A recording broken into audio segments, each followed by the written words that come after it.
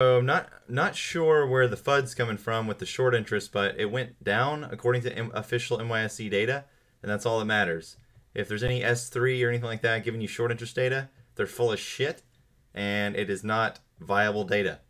So as of right now, the short interest, as per NYSE data, which is the exchange that it's listed on, is 6.775394 short interest or shares remaining to be covered according to the official data. Now that's all we can go off of, right?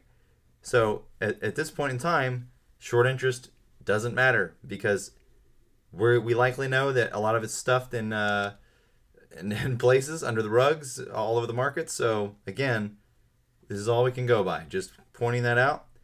Um, this is one of the only things Fintel's good for is providing accurate short interest data. Now, this short interest data, this is daily Fintel updates. I, I ignore this.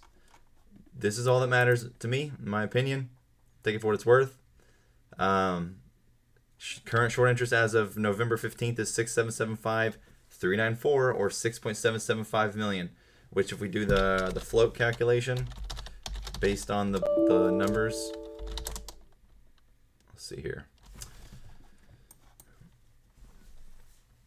Six seven seven five three nine four. I'm going off the proxy numbers. That's all that matters. Forty four million. Fifteen percent of the float is short, according to the official data, and take it for what it's worth. But any other numbers you're given, bullshit. So have a good one.